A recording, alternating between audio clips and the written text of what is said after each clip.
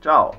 A 24 ore dal mio primo video che riguarda il, il modulo di allarme GSM, eh, eccomi di nuovo qua con un aggiornamento. Ho fatto una variazione abbastanza importante del software interno e quindi mostro in cosa consiste.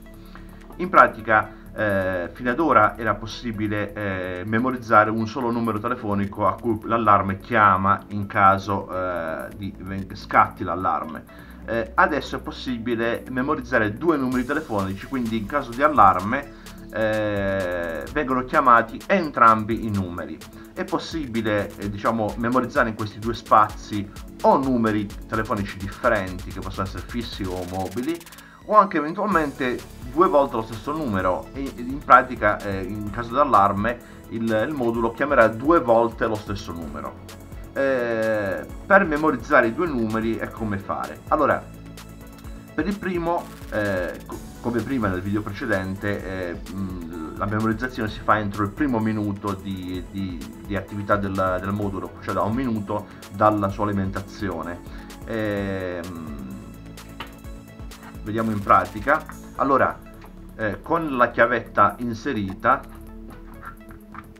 alimentiamo il modulo. Allora accendiamo il power bank. Ok.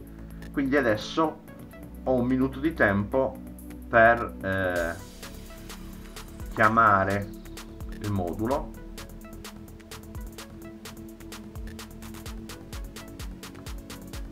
Come al solito faccio uno squillo soltanto e chiudo. Se il numero è memorizzato mi chiamerà entro 10-15 secondi sul cellulare. Ecco fatto allarme mi sta richiamando. Adesso per memorizzare il secondo numero devo fare una cosa. Spengo eh, l'alimentazione tolgo l'alimentazione ok adesso ho spento il power bank quindi non è alimentato. Tolgo la, la chiavetta e accendo di nuovo. Ecco adesso ho alimentato.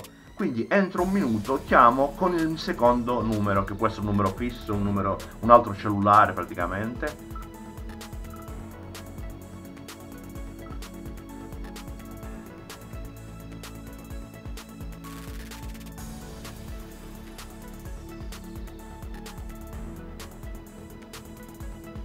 ok ho fatto lo squillo.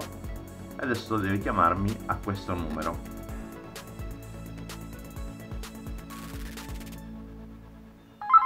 Ecco fatto. Mi sta chiamando l'allarme la, riconosco dal numero. Quindi adesso abbiamo memorizzato i due numeri telefonici. Possiamo anche eh, spegnere l'allarme naturalmente come ho detto nel video precedente i due numeri rimangono memorizzati se non vengono sovrascritti e possiamo utilizzare l'allarme normalmente. Quindi lo accendiamo, attiviamo e aspettiamo un minuto per la sua attivazione. Ecco è passato un minuto dall'attivazione, dall cioè dall'alimentazione dell'allarme, dell quindi l'allarme la, ormai è operativo quindi nel momento in cui viene staccata eh, in, attraverso magari il filo ma la chiavetta l'allarme chiama entrambi i numeri eh, memorizzati. Infatti sta chiamando il primo numero che ho memorizzato. E tra un po' chiamerà anche il, il cellulare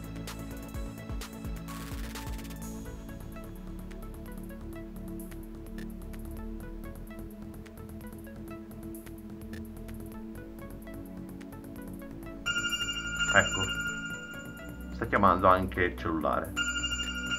Ecco in questo consiste il primo upgrade del, del, del software quindi la gestione di due numeri telefonici. Ok al prossimo video. Ciao ciao